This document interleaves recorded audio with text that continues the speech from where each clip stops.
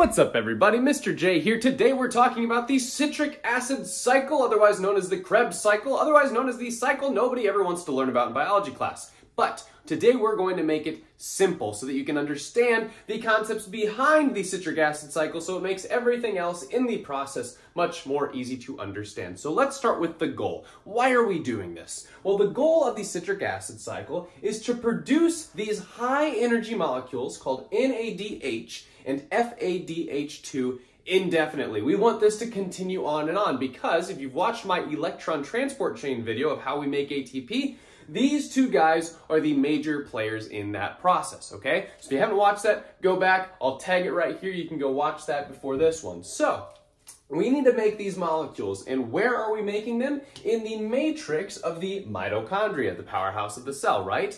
We are making them in the matrix, and what's nice about this is these two intermediates are going to go directly into the electron transport chain, which I've talked about, which is going to be in this inner membrane right next to it, right? Location matters a lot. So that's why these are being made in the matrix. So let's talk about how we actually produce these. But before that, anytime we're producing something in biology, we need ingredients, right? And where do we get these ingredients? Three different places. So let's talk through them really quickly.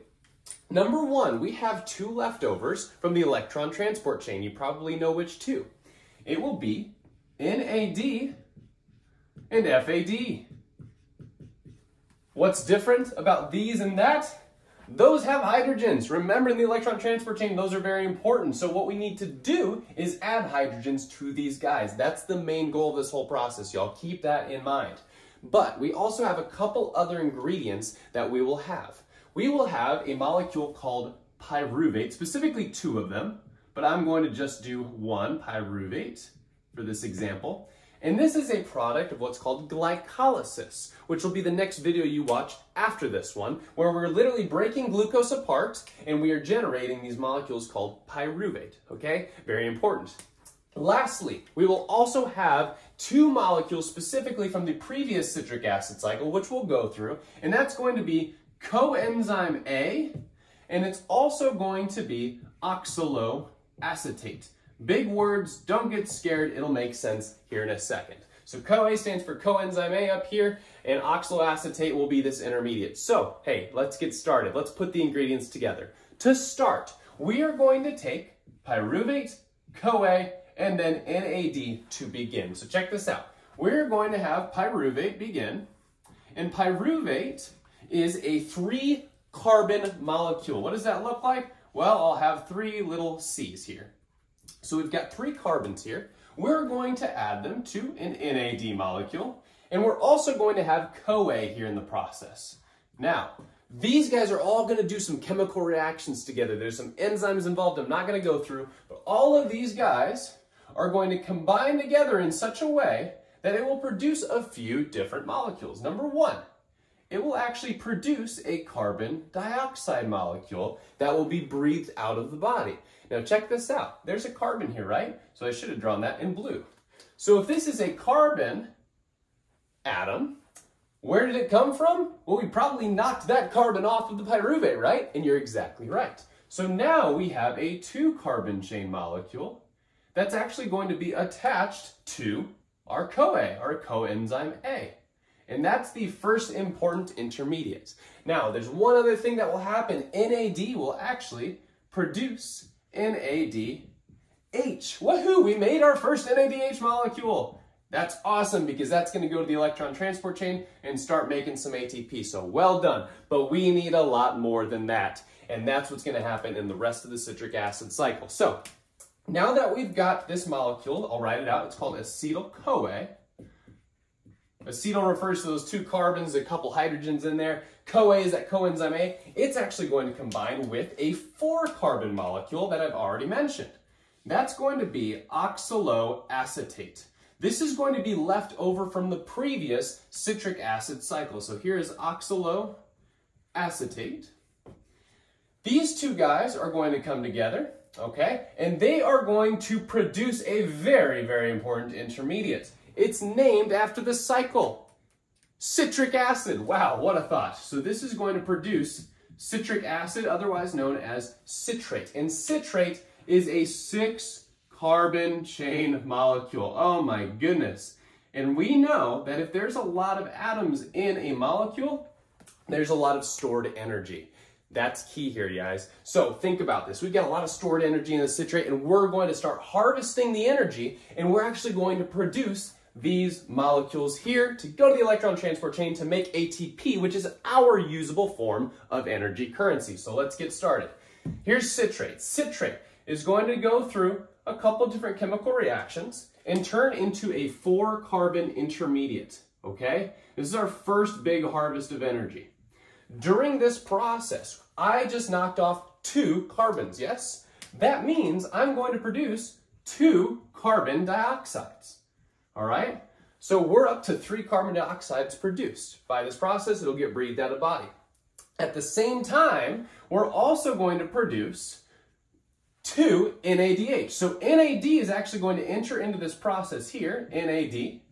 It's going to enter into this process here and then come out the other side and produce two NADHs. Now you may be asking, where the heck are these hydrogens coming from?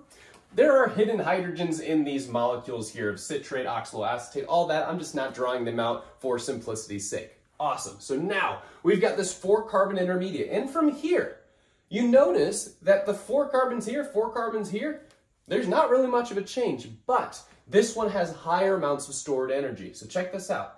There's going to be several intermediates that I'm not going to go through because I just think it's redundant. I think it's ridiculous that we have to memorize them all. A lot of chemical reactions will happen to get to oxaloacetate from this intermediate. In this process, this is our big player of energy production.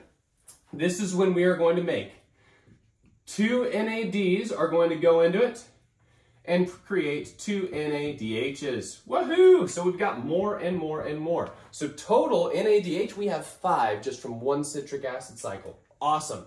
At the same time, we've left out this poor guy so far, right? In this case, two FAD are finally going to enter into this process as well and produce two FADH, whoops, H in red, two. Wonderful. So guys, at this point, we have basically concluded the video. We've produced our intermediates for the electron transport chain that will then pump the hydrogen ions use it to power ATP synthase and make ATP. Again, watch that video if you haven't already. At the same time, I'm not going to mention this too, uh, I'm not going to really mention this all that much because it's kind of unimportant, but there is a guanosine diphosphate molecule that will actually get phosphorylated in this process and produce what's called a GTP. This is also important in energy production. I just don't usually point it out in class all that much. But if your teacher does, that's where GTP is made, and just one of them is made. So, guys, this is the citric acid cycle. Now, why is it called the cycle? Well, because our goal was to make it indefinitely, right? So here's the thing. All of these molecules we've just generated will go to the electron transport chain and make ATP, but in the process, they will take away the hydrogens and produce these guys again, right?